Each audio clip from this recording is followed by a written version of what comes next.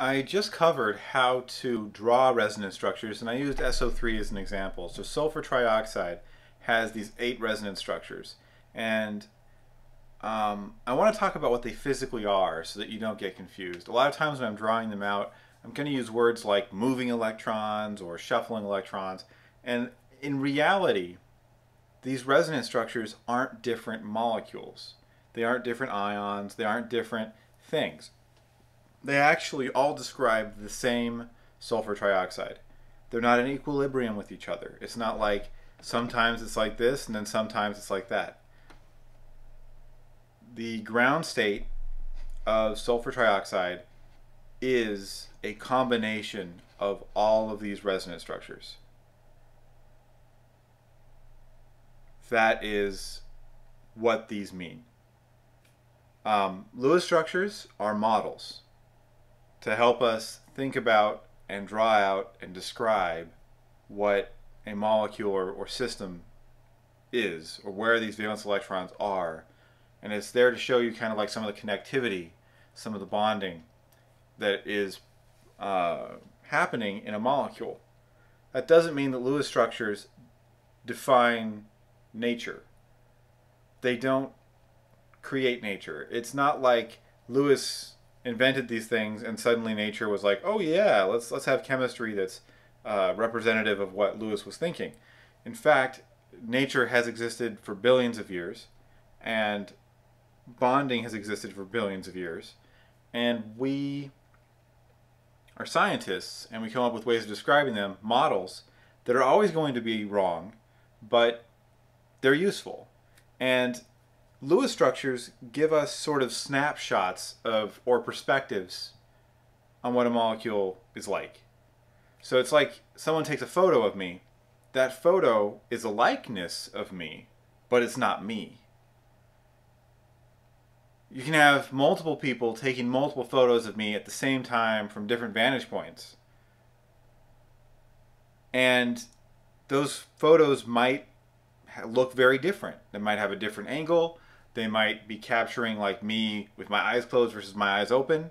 And they're all representations of me. They're all meaningful, but none of them is me. And likewise, each of these resonance structures is just one piece uh, of the perspective of how we think about this molecule.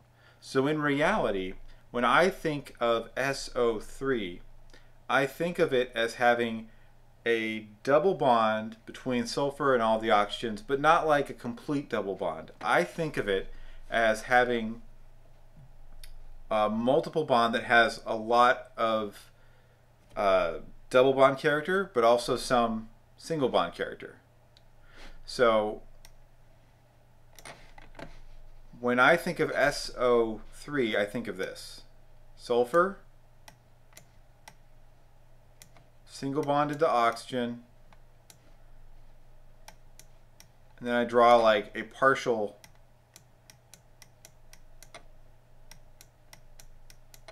double bond. That's what these resonance structures are telling me. Yes, this is going to be the closest to reality. The reason why I say that is because this resonance structure with all these double bonds has the most bonding between sulfur and oxygen. It maximizes bonding and it has the least formal charges. It has the least charge separation. So that makes it a more favorable, more important, a bigger contributor of the actual physical structure of sulfur trioxide. But these also play a role as well. So these aren't going to be like equal weight, but they are going to be uh, somewhat weighted. And th this one is going to be more weighted than this one because it has more bonding. It's it's completed sulfur's octet and and then some, and it also has less charges. It's moved positive and negatives closer together than this has. Like this has positives and, neg and negatives not even in the same element it has them separated across from oxygen and sulfur. So that's a charge separation. That means it's higher energy. So nature is going to tend to favor lower energy structures. So the actual natural structure is going to be closer to this than it is to that. Also,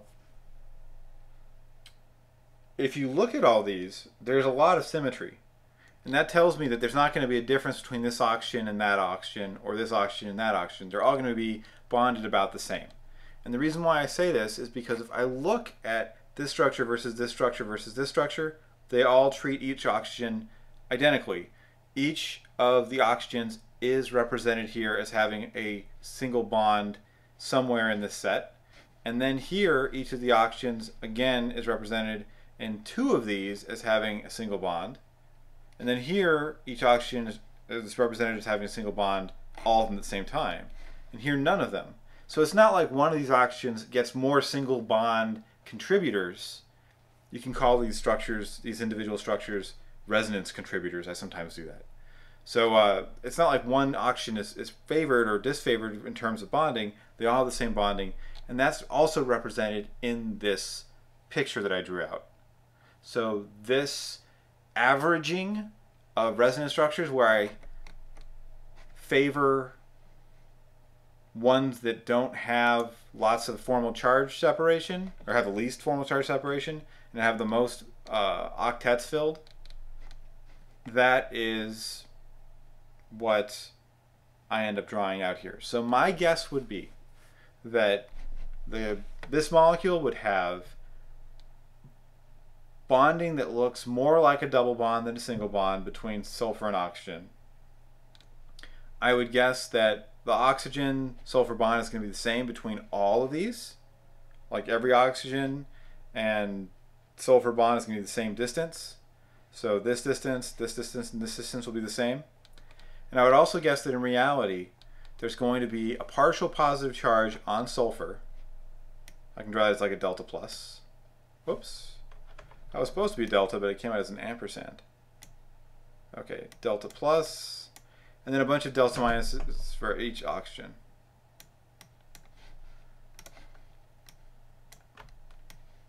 So, and I, I know this because when I think about, if I averaged all these out, this has no positive charge on sulfur, and this is the most important contributor. But all the other ones have positive charges on sulfur. This has no negative charges on oxygen, but all the other ones have partial negative charges, sorry, negative charges, like full actual negative charges, um, on the oxygens, right? Like every oxygen has at least, uh, well, it has like three contributors that put a negative charge on it. So that's where the partial negative charge is coming from. It's the character that is being um, averaged in to the to this model from each of these resonance contributors. So I put all this stuff in brackets, and that's meaning that you average all those structures out to give you a better picture of what the molecule is actually doing. And that's how you think of resonance structures. That's how you use them. Um, I will do other examples that are a little bit more helpful and that demonstrate the value of resonance structures more. Um, we'll do things like look at structures where if you just draw one resonance structure, it is not symmetric. This was an example where the resonance structures were all symmetric or, or can be symmetric. Like this one, the best one is actually symmetric.